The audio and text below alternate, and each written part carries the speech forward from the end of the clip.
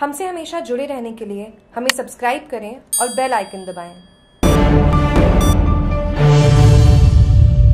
निजी कैबिन में आग से सामान जलकर राख पुराना बस मडिया रोड बलिया स्कूल के सामने रिज्यूम के पास एक निजी इतर की कैबिन में आग लग गई।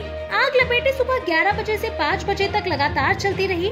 लपेटे को देखकर आसपास के लोगों ने कैबिन के प्रोपराइटर को सूचना दी। सूचना पर कैबिन प्रोपराइटर आया और फायर ब्रिगेड को सूचना दी। मौके पर सूचना होते ही फायर ब्रिगेड आई और आग पर काबू पाया। इतर के कैबिन के अंदर पड़े इतर और पैकेजिंग सामान जलकर राख हो गए। काफ़ी सामान जलकर भस्म हुआ।